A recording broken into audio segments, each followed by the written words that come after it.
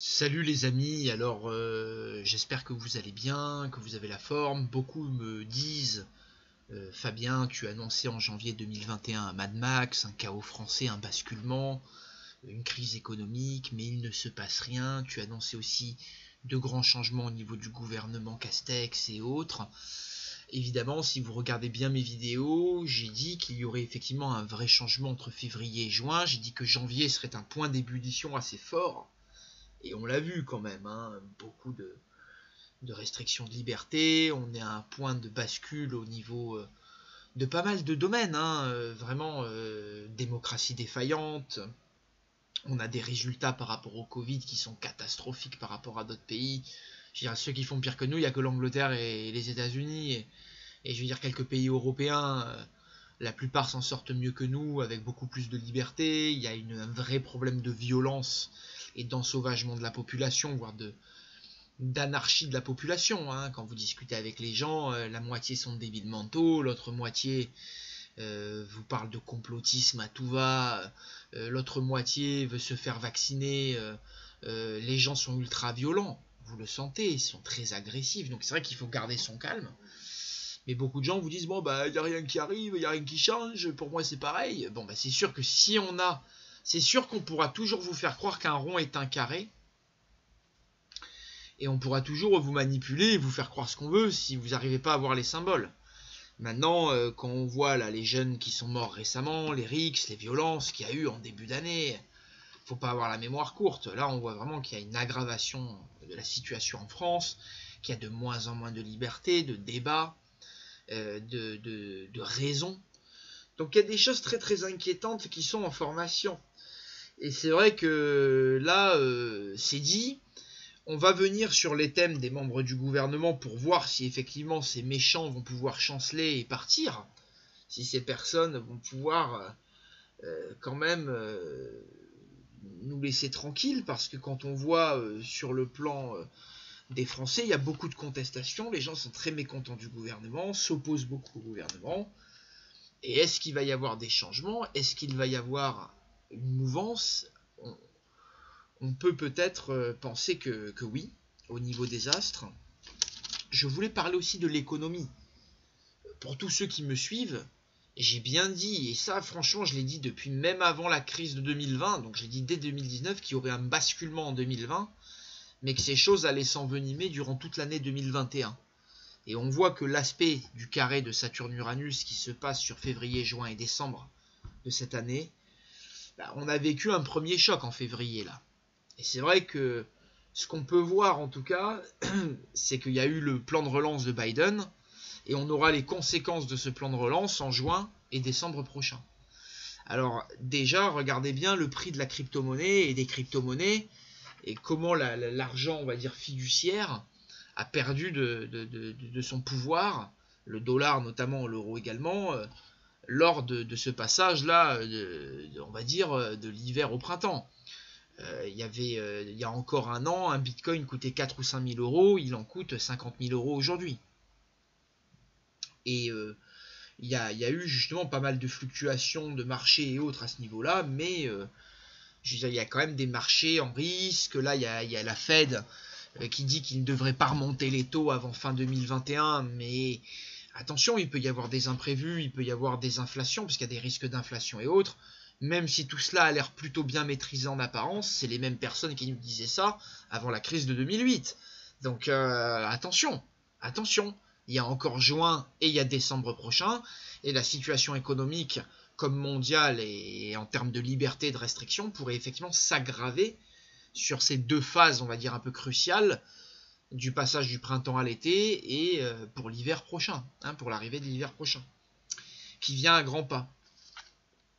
Et c'est vrai que il y a une, donc une situation assez dure, et je pense que Castex, hein, ça je l'avais aussi annoncé euh, dès son, euh, son comment dire, son, son, sa prise de position, qu'il il avait pris justement position sur un Mercure rétrograde, comme Véran. Alors Véran, on n'en a pas la certitude, mais prendre un boulot sous un Mercure rétrograde, c'est jamais synonyme de, durabilité et il se passe toujours des problèmes. Et là, euh, euh, c'est exactement ce qui se passe avec les, deux mandats de ces personnes.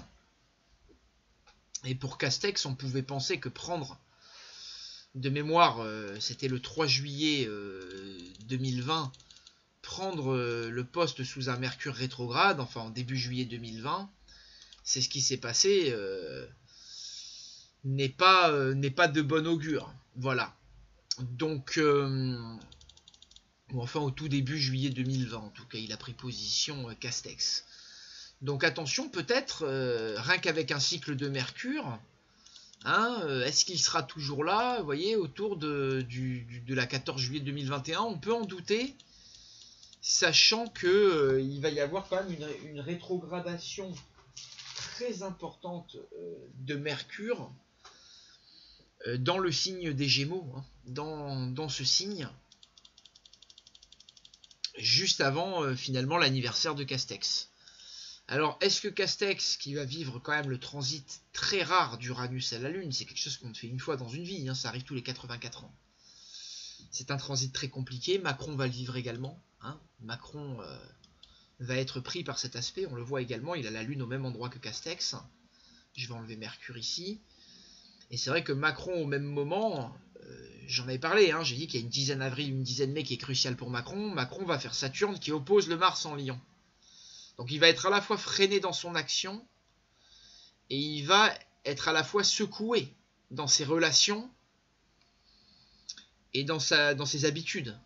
Il y a un effet révolutionnaire, chambardant, destituant, euh, un effet qui, vient nous, couper l'arbre sous le pied. Il y a des inattendus ici.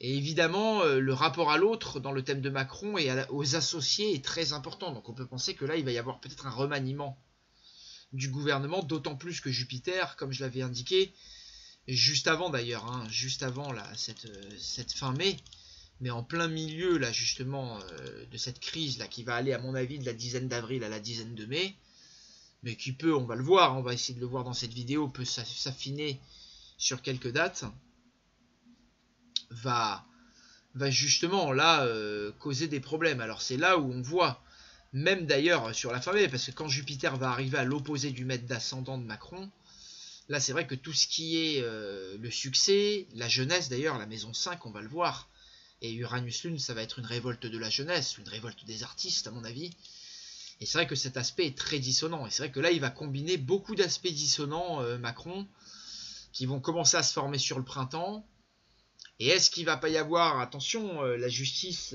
qui va commencer à à mettre son nez dans ce qu'a fait le gouvernement depuis un an, parce qu'il y a quand même des résultats assez dramatiques. Et est-ce que lui-même, Macron, ne va pas commencer à changer d'attitude par rapport à son gouvernement et, à se séparer peut-être de, certains collaborateurs, hein, ce qui serait peut-être mieux pour lui, au vu des risques qu'il y a sur le plan peut-être juridique, comme on voit ce qui arrive à Sarkozy en ce moment avec un an de prison ferme. Peut-être que Macron, attention, euh, après coup de son mandat, et c'est ce qu'on va voir dans le long de cette vidéo, j'ai expliqué qu'il y a un janvier 2022 très compliqué pour Macron et il y a un après aussi, avec toute la progression de Jupiter et Saturne dans le signe du poisson sur les années qui viennent, hein, jusqu'à 2026, en carré, et qui peut indiquer qu'attention, Macron, moi de toute façon, je, pense qu'avec un thème comme ça, Macron, attention, on devra aller vivre en exil ou aura de sérieuses répercussions au niveau de la loi. Hein, c'est c'est pas impossible. C'est pas impossible. Euh, et c'est vrai qu'il y a des choses qui sont très discutables dans ce que le gouvernement a fait, comme on va y venir. Notamment euh, récemment le scandale des anticorps monochloraux et des conflits d'intérêts avec la famille Cazeneuve, qui, n'est pas lié à Bernard Cazeneuve, mais il y a eu ça, il y a eu l'interdiction de pas mal de traitements et autres. Donc est-ce que là, au moment où Mars va arriver en cancer sur la fin avril, ça va pas commencer à chauffer pour Castex et à créer une situation très agitée D'autant plus qu'on voit que la progression d'Uranus va être plutôt forte et qu'au même moment Saturne fait carré à cette lune. Qui est quand même le milieu du ciel de Castex. Hein. Il y a quand même un empêchement ici à mon avis entre les deux premiers carrés de Saturne à sa lune. Hein, qui sont compliqués. Qui sont compliqués à négocier. Et là c'est vrai qu'on voit que Saturne va rétrograder là. Sur la vingtaine de mai là. Et qui rétrograde quand même pile en carré à la lune de Castex. Et que c'est le moment où Mars hein, passe sur sa Vénus. Là, on voit qu'on est en plein dans la rétrogradation de Mercure, à mon avis. Non, ah, pas encore. Pas encore. Bah si, vous voyez, 29 mai, 30 mai. Là, on arrive en pile à l'arrêt. Alors, à mon avis, là, il va y avoir quelque chose qui va se passer, là, vers la rétrogradation de Mercure, là, vers la fin du mois de mai pour Castex. À mon avis, il y a une éviction. Hein. Là, il va avoir du mal à tenir le coup. Et euh, ça risque d'être quand même un sérieux avertissement. Alors, peut-être que Jupiter va quand même lui permettre de tenir le coup. Mais vous voyez, Uranus qui est maître de la 5, qui va commencer à subir l'opposition. Uranus, Jupiter opposé Uranus, Uranus sur la Lune. Mars dans le signe du cancer, il y a de la jeunesse, il y a de la maison 5 là qui peut... Aussi les résultats scolaires, parce qu'il y a le bac à deux vitesses aussi qui a fait parler de lui. Alors là, ça risque quand même d'être l'agitation pour Castex, et il peut y avoir pas mal de problèmes. Alors Véran, effectivement, c'est peut-être le ministre qui est peut-être le plus en difficulté euh, sur cette période également, parce que on voit qu'il y a le conflit avec les anticorps monoclonaux, là, le conflit d'intérêts. Et quand on regarde Véran euh, sur toute l'année 2020, il a eu une sérieuse réunion en maison 2, ce qui est souvent un accroissement financier fulgurant.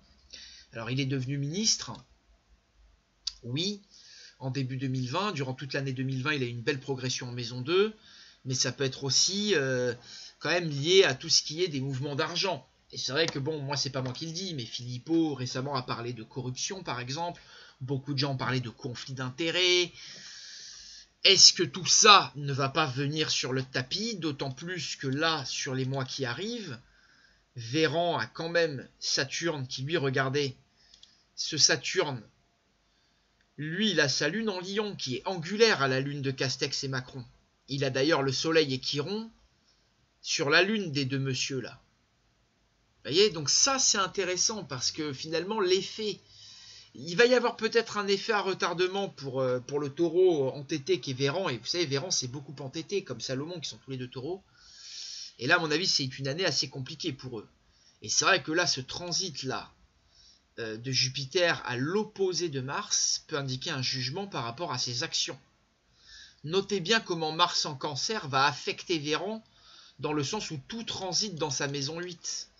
Et lui, quand même, c'est un moment où. Là, il y a un double temps. Hein. Là, regardez, il y a le carré à sa lune des planètes rapides. Sachant que là, regardez, il y a déjà des conflits avec les anticorps monoclonaux au moment où Mars rentre en Gémeaux, là, vers la dizaine de mars, on vient de le passer. Là, attention, la réunion des planètes, là, qui arrive vers la dizaine de mai, et tout le mois de mai, va quand même impacter Véran. N'oubliez pas que, regardez, que cet aspect qui, qui frappe beaucoup Castex sur la fin mai, fait carré au maître d'ascendant Pluton de, de, Véran. Donc là, on a quelque chose qui va se passer, vous allez voir, pour Véran, de, de pas forcément sympa. Pour lui, à mon avis, sur cette dizaine avril, jusqu'à cette fin mai. Alors, est-ce qu'il va pas y avoir un scandale parce que Saturne et Jupiter qui opposent justement cette maison neuve Est-ce qu'il va pas y avoir une mise en examen ou que des phrases, parce que là c'est une communication qui va se retourner contre lui. Est-ce que ce qu'il n'a pas dit, écrit, signé, et ou dit par le passé ne va pas se retourner contre lui? Parce que là, Véran, euh, il y a eu beaucoup de, de cafouillages, euh, il y a beaucoup de choses, euh, et il pourrait sortir des dossiers, des choses compromettantes là. Donc est-ce que là, il va pas y avoir un moment où Véran va vraiment chanceler? Ce qui est possible, sachant que regardez, sur la fin mai, on arrive sur un Mercure rétrograde Est-ce que pour certaines raisons, Macron, à ce moment-là, va pas décider de remanier son gouvernement? Cette fin mai, elle a l'air de résonner beaucoup dans le thème de tous les, de tous les hommes politiques. Hein. Là, euh, c'est vrai qu'elle va être agitée au niveau du gouvernement français cette fin mai, ce début juin. Alors, est-ce qu'attention, qu'à partir euh, de ce printemps, il va pas se former une vraie révolte dans la jeunesse et une vraie secousse avec des révélations et autres Là, on voit qu'il y a un empêchement quand même, il y a un arrêté là. Est-ce que par exemple des artistes comme, euh, euh, Francis Lalanne, Bigard, des hommes politiques comme François Asselineau, une grande coalition de, de, penseurs, de barons français, vont pas déclencher l'article 68 pour faire une éviction d'Emmanuel Macron? On peut penser que oui. D'ailleurs, on voit bien qu'il y a une répercussion à la rentrée avec Mars en balance. Hein, Mars en balance va chauffer pour tout le monde. Hein, non seulement c'est la maison 8 des grandes transformations, des grandes crises pour Emmanuel Macron, mais là, bien évidemment, c'est l'ascendant de Castex, la balance. Alors Salomon va y venir un peu après, mais c'est quand même le milieu du ciel de Marlène Schiappa et le signe solaire de Darmanin. Et c'est également quand même pour Véran assez important parce que c'est le moment, vous voyez, où pas mal de planètes vont quand même, surtout Mars dès qu'il va rentrer en scorpion, rentrer dans son signe d'ascendant, sa maison 12 et autres.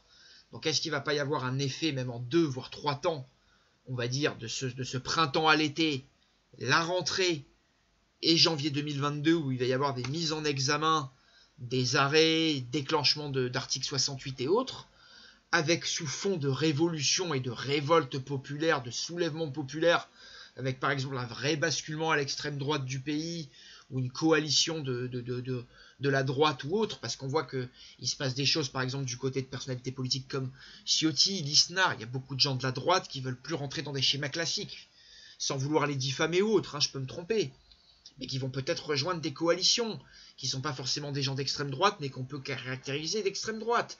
Est-ce qu'il n'y a pas une grande nouvelle droite qui va se former pour un peu lutter contre la gauche ou le mondialisme, ou on va dire le gouvernement, et créer une vraie opposition multiple? On peut penser que oui. On peut penser que oui. Et on peut penser qu'il va y avoir un véritable printemps français, comme je l'ai annoncé, qui va se déclencher effectivement de la dizaine avril à la fin mai, et qui pourrait y avoir un mai 2021 très très très très très très fort. À noter que pour les personnes qui me critiquent, euh, le FMI a récemment déclaré qu'il s'inquiétait énormément pour le pays qu'est la France. Il y a vraiment un risque. Et si vous voulez, au niveau des aspects qu'ont vécu la Ve République, on est réellement dans une nouvelle donne. On a basculé vers quelque chose de nouveau. Alors bien évidemment, la fin de la Ve République, le chaos civil qui dégénérera peut-être en libanisation, en guerre civile, en, en Mad Max euh, total, c'est-à-dire qu'en Mad Max, euh, voire en guérilla, ça peut être 2023-26 avec le retour de Saturne en poisson, le signe d'ascendant de la 5ème République. Et c'est vrai que là, dans ce sens-là, 2021-22 vont être déjà des prémices avec sûrement un basculement idéologique à la prochaine élection qui risque de rendre tout le monde mécontent et de faire un peu l'effet qu'a fait cette élection présidentielle aux États-Unis. Peut-être même en pire avec des tensions beaucoup plus profondes et plus marqué de division au sein de la société française Oui, je dis oui. Et je dis que là, on a démarré un Mad Max qui n'est que le début. Et attendez les progressions de Jupiter, mais surtout de Saturne en poisson.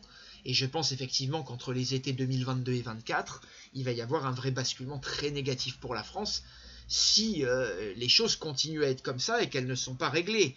Et je vous le dis encore une fois, je pense moi personnellement, au vu de l'histoire, et ça n'engage que moi, qu'à chaque fois qu'il y a eu des grosses crises comme ça dans les, républiques, il y a eu des basculements vers des dictatures militaires ou des militaires qui ont pris le pouvoir.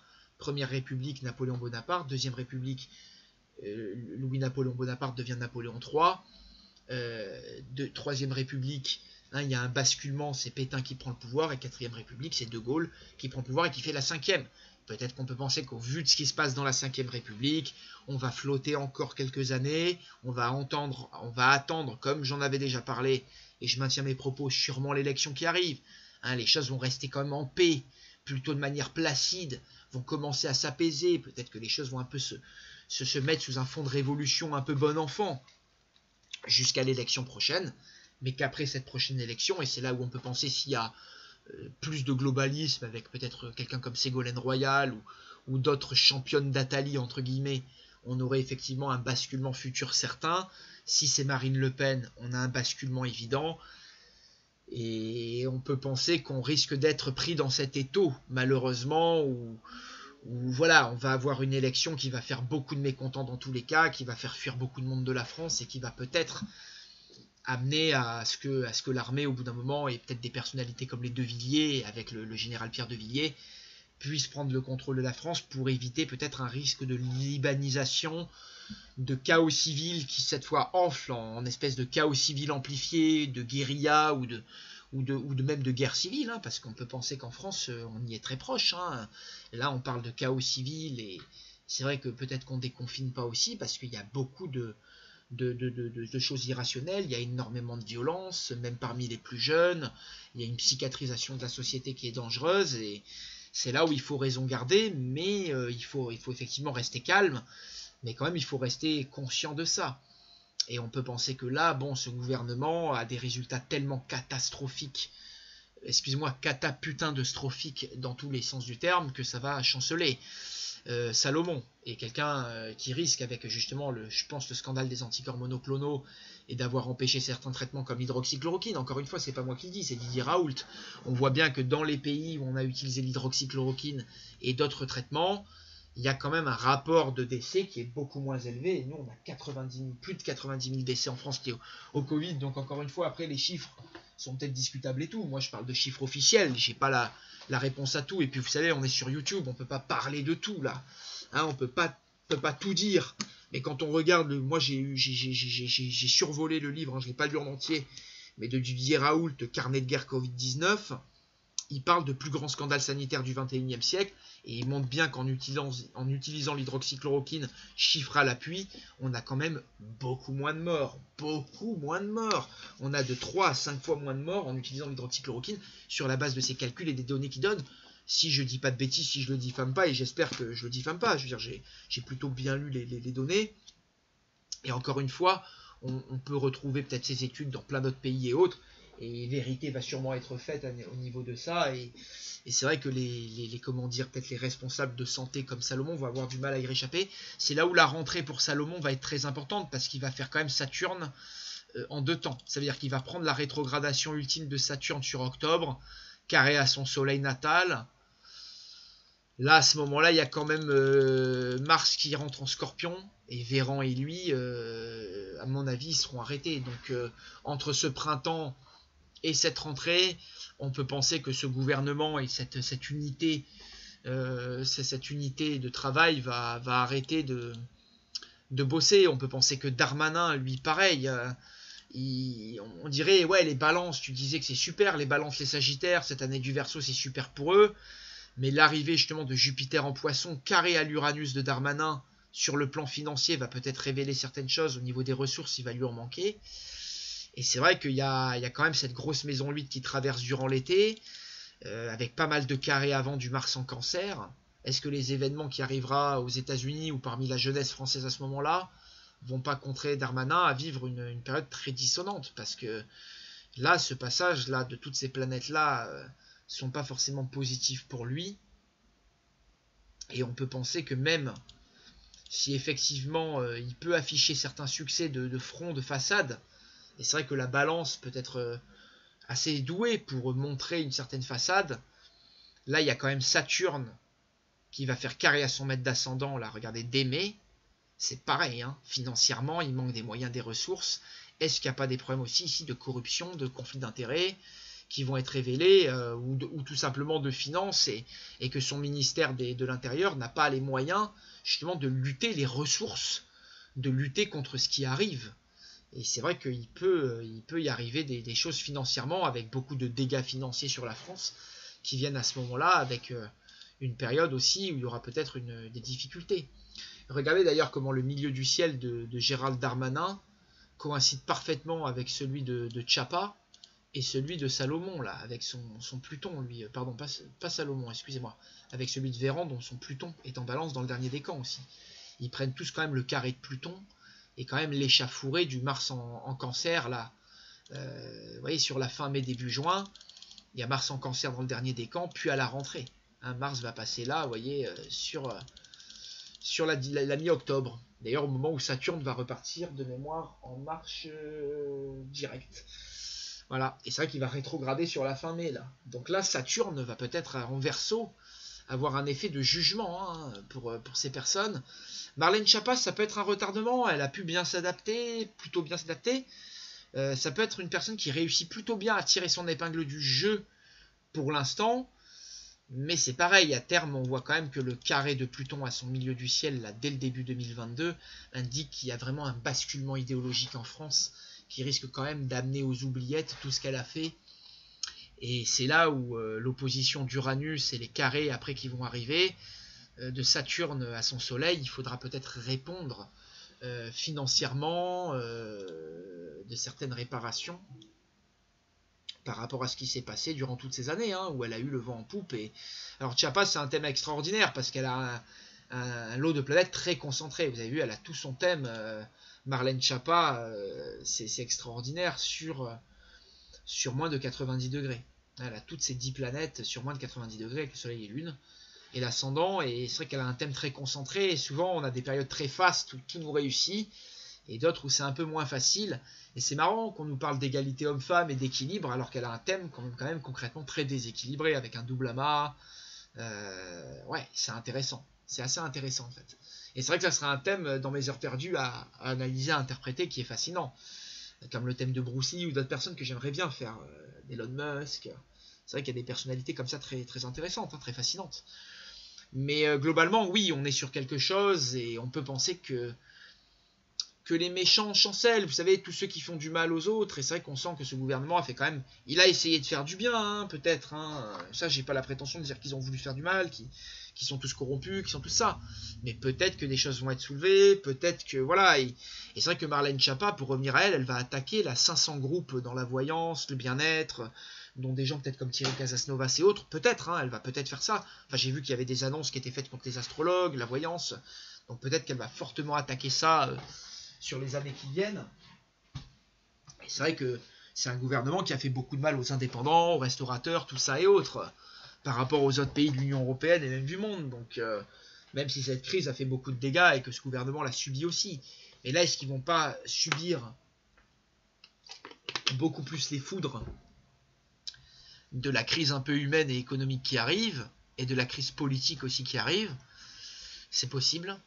Euh, on voit qu'il y a des présidents qui viennent d'être mis en examen, même enfermés à un enferme. Attention, il peut se passer des choses et là il y a des résultats euh, assez compliqués beaucoup de choses qui sont remises en question, euh, non seulement euh, de la mentalité de Chapa ou de ce que peut faire Darmanin au niveau de la justice, mais surtout au niveau santé. Et on peut penser que Salomon, Véran, Castex, ça va chauffer, le gouvernement va peut-être chauffer euh, à partir justement de, cette dizaine d'avril jusqu'à cette vingtaine de mai, et même début juin, sur un premier temps. Donc est-ce que là, il va pas y avoir une contestation très forte qui va se former? Bah, Peut-être tout un jeu électoral aussi, peut-être dans le meilleur des cas. Mais on peut penser quand même qu'il va y avoir une, révolte assez forte de la population, surtout si dans les prochains jours, par exemple, il y a un nouveau reconfinement. Et c'est vrai que ça pourrait être euh, déjà des alertes assez fortes. Euh, euh, s'ils font des type des couvre-feux ou des alertes et autres, ou des, ou des, restrictions de liberté et autres. Voilà, je vous, laisse, je vous laisse là les amis, et je vous dis à bientôt, prenez soin de vous et portez-vous bien.